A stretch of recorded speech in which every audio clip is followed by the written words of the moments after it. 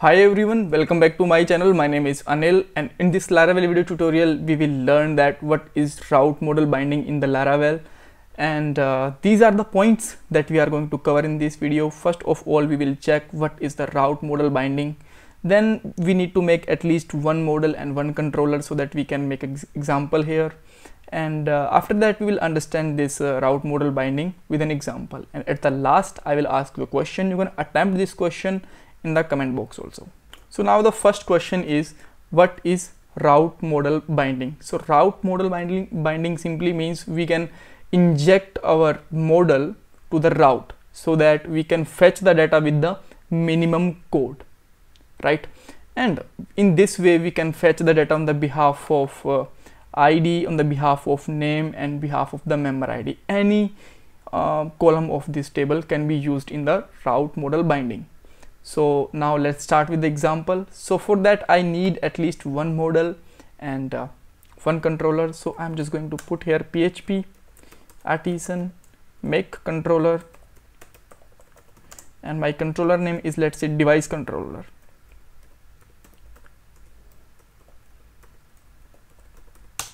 Right. So here I have a device controller.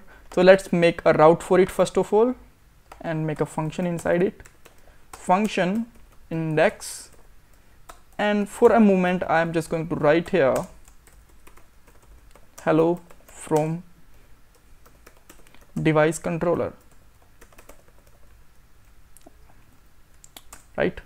And now I am just going to make a route for it. And let's go to the web.php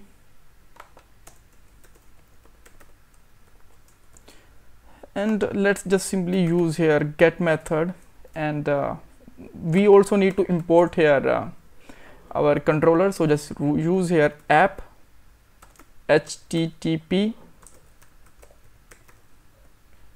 controllers and uh, then put here device controller which is name of our controller.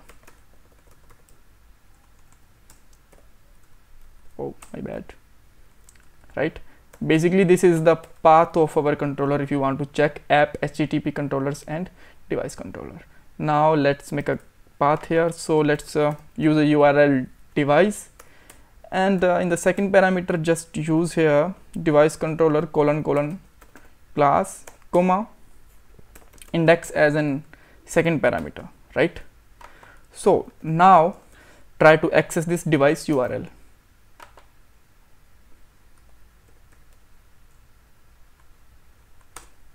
okay so this is a text coming from the controller. This is working fine. So now what I want that I just want to fetch the data on the behalf of uh, the ID which is I am just going to pass inside the router right? And this will be just directly inject inside the model. So here you can see that this is actually not working for a moment.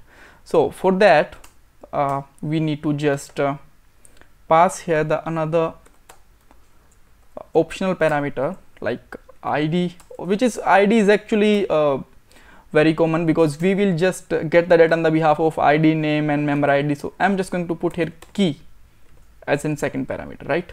So now you will find that this is working fine if i'm just going to pass something here like uh, name and something whatever I, I can pass i can do it right? Now let's make a model here. So just write here php artisan make model and model name can be like say device. Why I'm putting my device as a model name? Because my table name is devices right? So hit enter and this is also created. Now import this model inside the controller now from here. So just use here use app model and uh, then let's uh, just write here model name which is device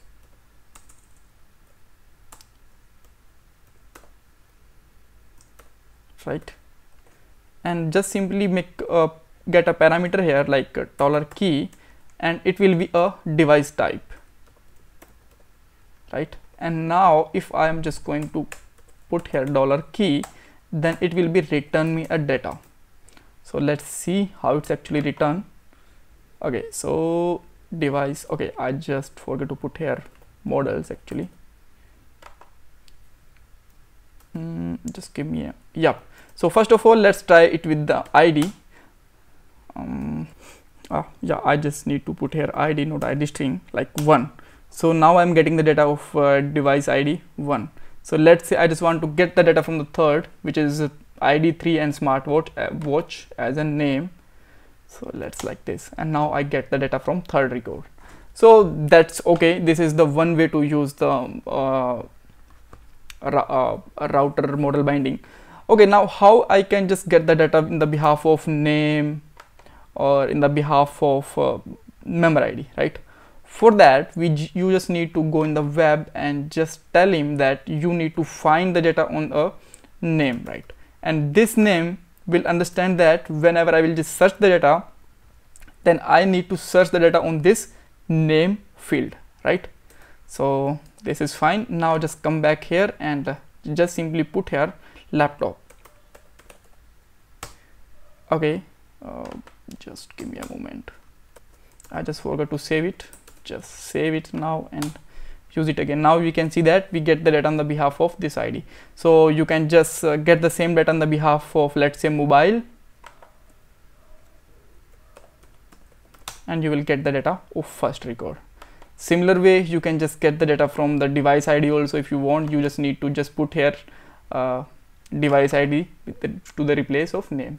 So this is the simple way to use the model uh, route model binding and it will just provide the data from the database with the minimal code. You just need to put here a route and uh, the device class name as an parameter. That's it right?